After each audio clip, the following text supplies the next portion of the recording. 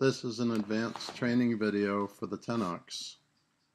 We're working with the ox driver and the field we're working in today is a thoroughbred farm and it's between a fence line and a polo field.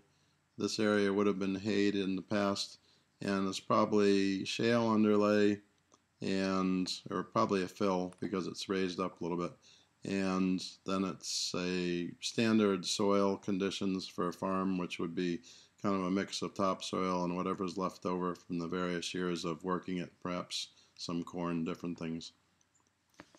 And there this is a row of 17 stakes out of uh, four sides of the tent. The stakes are set up in advance all the way around the tent with the stakes through the stake bar, through the ratchet, and then the one person comes through and sets all the stakes with a five pound sledge. He's installing the farthest stake on the stake bars first and then he comes back and the reason for that is because the hydraulic line is on the opposite side of him and there's a chance that the hydraulic line, if you do the nearest stake first, could get tangled up in the stakes, particularly if it's an inexperienced operator. We're going to do a close-up here about the controls, but let's talk about them. You have the foot controls, where as he goes down, he usually drifts back about 4 inches. That makes the stake plumb. He keeps the tool plumb by using the left-right control the joystick, which is the same as dumping a bucket on a bobcat he uses a forward back control on the joystick, which is the arm up and down. And then the last control is a red button that's on the top of the joystick, which starts the hammer for driving the stakes. As he comes up to the stake, he pushes down, then he starts the hammer, then he pushes down more.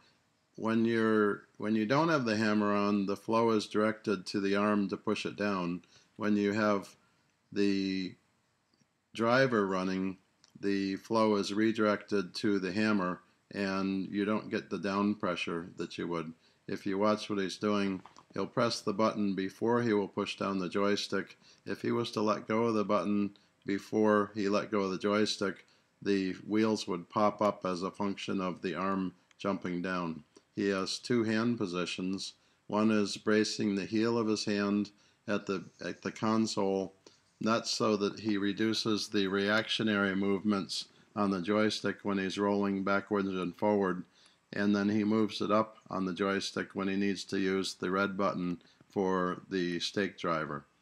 Your stability comes in your movements from learning how to keep your hand from overreacting to the movements and that's why he moves his hand down to the console as often as he can. We have three more stakes. It was 17 stakes.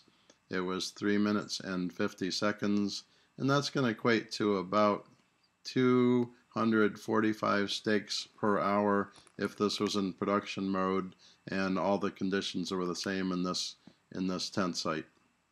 Ryan is wearing ear protection in the form of foam fills which are rolled and put into his ear. This is not as loud as an Atlas Copco because it's surrounded by more metal, but it is required for our employees.